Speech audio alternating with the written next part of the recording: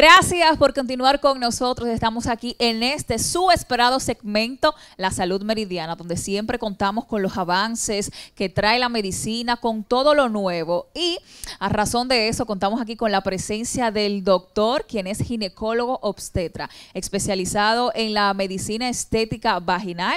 Él es el doctor José Miguel Rojas. Bienvenido desde San Francisco de Macorís para el mundo. Bienvenido.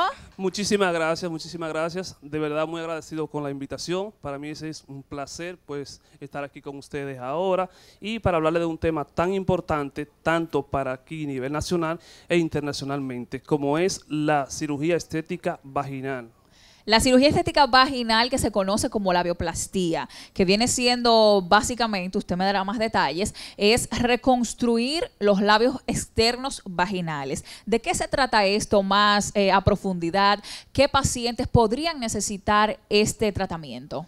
Bueno, cuando estamos hablando de vaginoplastía o estética vaginal, por así decirlo, será estética vulvar, esto engloba eh, diferentes eh, puntos, tanto como la labioplastía, vaginoplastía, relleno, blanqueamiento, entre otros. En este momento vamos a hablar de lo que es la labioplastía.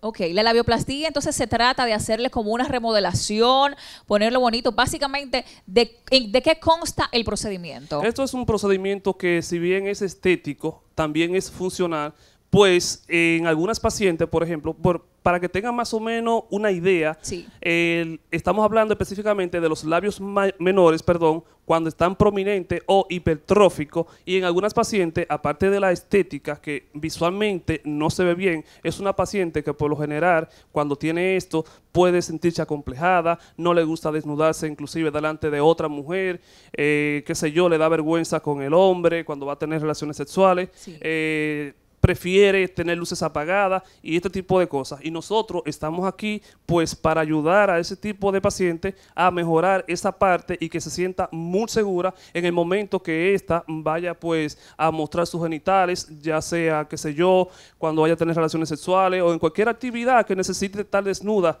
que no le dé vergüenza y que se sienta segura de sí misma, pues para eso estamos aquí, para mejorar esa parte. Dicen que ustedes los médicos estéticos son los encargados de la autoestima por excelencia, o sea, son los encargados de en dos horas suban el autoestima a 100 y este es el caso de la labioplastía. ¿En qué, en cuáles situaciones, como usted bien decía, es eh, solicitada o es recomendable una labioplastía? Por ejemplo, si la paciente tiene eh, los labios menores muy, muy, muy largos, muy abiertos, básicamente en estos casos se recomienda una labioplastía.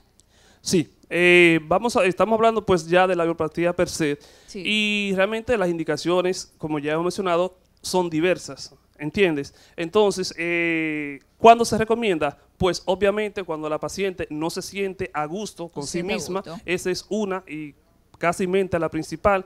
Otra es pacientes que tienen infecciones a veces recurrentes y esto es también básicamente porque tienen unos labios muy prominentes. Otra cosa es el roce de la ropa eh, puede ser la ropa interior o pacientes que usan ropas apretadas, los jeans, por ejemplo. En estos casos está recomendada hacer la bioplastía y obviamente para aumentar esa autoestima de, la paciente, para que se sienta mucho más cómoda. O sea que también por razones estéticas y por razones médicas como tal. Sí, es estética y funcional. Claro y regenerativa. Doctor, ¿qué precio más o menos ronda? ¿Cuál es el presupuesto que debe de tener una paciente que desee por X o Y razón realizarse una labioplastía? Esa es una pregunta muy importante porque todas las pacientes, por no decir escasamente, lo primero que preguntan es el precio. Doctor, ¿cuánto es, por favor? Dígame, dígame, dígame antes de, deme la dolorosa antes del proceso. Bueno, es que el precio va a depender inclusive de cada paciente en sí. Lo ideal es que la paciente primeramente acuda a una consulta ginecológica para una evaluación y luego de esa evaluación eh, verificar, ver cuál es el procedimiento en sí que necesita esta paciente, porque cada paciente es individual y cada paciente su parte genital es diferente, y dependiendo de la necesidad de esa paciente, el precio puede variar. ¿Entiendes?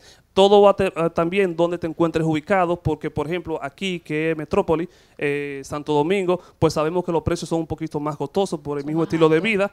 en el caso mío, que trabajo en Pueblo, San Francisco de Macorís, pues los precios son más asequibles y muchas veces uno tiene que ver el presupuesto de la paciente y adecuarse muchas veces en eso. ¿Para qué? Para no perderla a ella como paciente y obviamente para brindarle el servicio. Yo soy de lo que digo que la paciente, independientemente de que su nivel económico sea más bajo, yo creo que debe tener los mismos privilegios que una paciente que pueda pagar. Totalmente. O sea, que no es un presupuesto estándar, va a depender totalmente de la necesidad del paciente, de cada situación como tal. Doctor, ¿qué tan común es eh, la, visita de pacientes a realizarse este tipo de procedimientos? ¿Está muy actualizado? o es algo nuevo en el mercado? A mí me gusta que me haga este tipo de preguntas, pues lo tenía en mente conversarlo y es que nosotros estamos en un país que si bien no es todavía tan desarrollado, tan abierto a ese tipo de cosas. O tan abierto. Digamos que yo puedo ir, no sé, a hacer una cirugía de, de, hecho, las cirugías plásticas están ahora que están tomando auge. Imagínese usted las cirugías ya de las partes íntimas, son un poquito más existe cierto tabú en cuanto a esa área. Entonces, ¿qué tan recurrente van las pacientes allá? Doctor, quiero una labioplastía. A eso iba como estamos en un país eh, que, por decirlo así, eh, la cultura de aquí es tan diferente, por ejemplo, a otros países eh, más desarrollados o otro país internacional, donde la gente todavía juzga ese tipo de cosas, donde la mujer todavía le da vergüenza desnudarse inclusive de su propio marido. Yo tengo pacientes que me han dicho que su esposo nunca las ha visto y tienen más de 20 años juntos.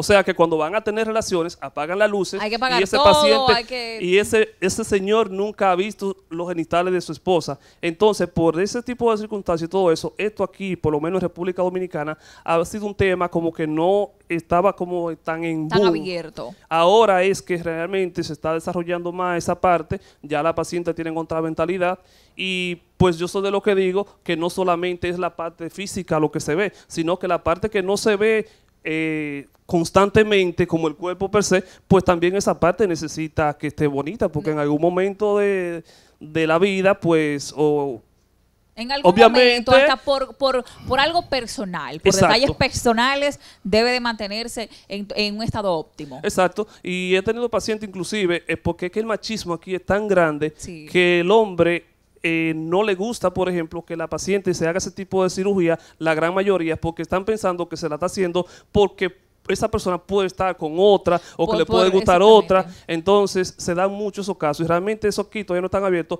pero sí, gracias a Dios, ya con los avances, las redes sociales, la promoción y todo eso, las pacientes ya están despertando y obviamente sí, ya la, es más constante la consulta por este tipo de casos. Bueno, mujeres, atrévanse a cambiar su apariencia genital, de sus, de sus, ¿verdad? De los labios, con una labioplastía de la mano del mejor ginecólogo que es el doctor José Miguel Rojas, que se encuentra ubicado en San Francisco de Macorís, pero hace consultas online en Santo Domingo. Háblenos acerca de todo este esquema, dónde usted está ubicado y cómo es el modelo de consulta.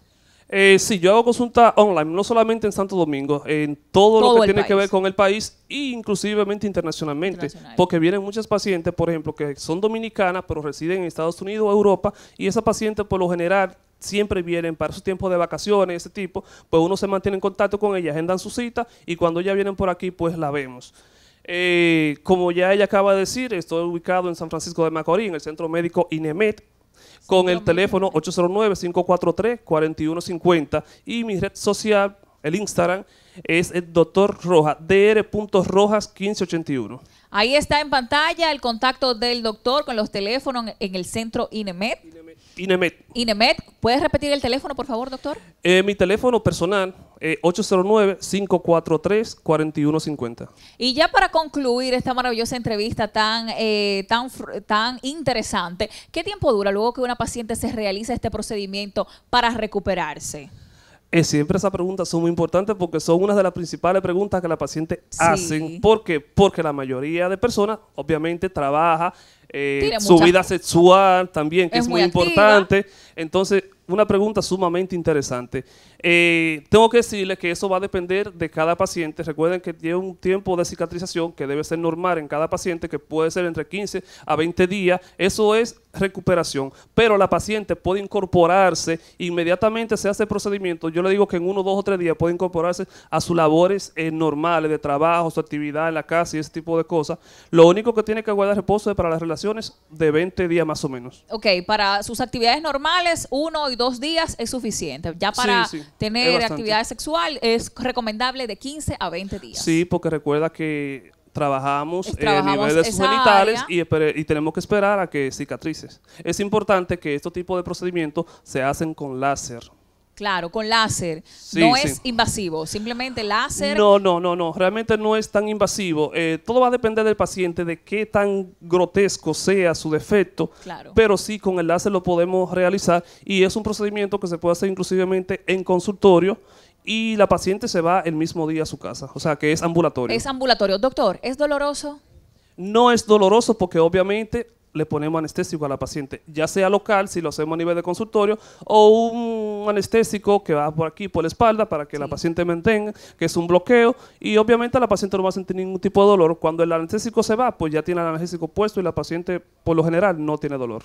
Bueno, mujeres, atención, las invitamos a que se realicen todo este tipo de procedimientos para que usted tenga su autoestima, se sienta bien con su propio cuerpo, en su propia piel, es algo que es, no duele, es algo totalmente al láser y también es ambulatorio. Así que con el doctor José Miguel Rojas, quien es ginecólogo, usted puede acudir y hacer su cita, su consulta. Allá, ahí está, repita los, el consultorio y los teléfonos para Estamos ubicados en el Centro Médico INEMET, San Francisco de Macorís, segundo nivel, 204 con el teléfono 809-543-4150. Mi red social que es muy importante, sobre todo el Instagram, porque ya todo el mundo está pues con Instagram y por ahí buscas informaciones. Aparte que en Google también me pueden encontrar con mi nombre y mi red social como el Instagram ya le dije es dr.rojas1581. Bueno doctor, muchísimas gracias. Un placer tenerlo por aquí tocando estos temas tan importantes y tan interesantes para la, para, para la mujer de hoy, que es más atrevida y que se atreve a realizarse todo este tipo de procedimientos sin ningún tabú. Nosotros continuamos con muchísimo más en este contenido de este martes en el Super Meridiano.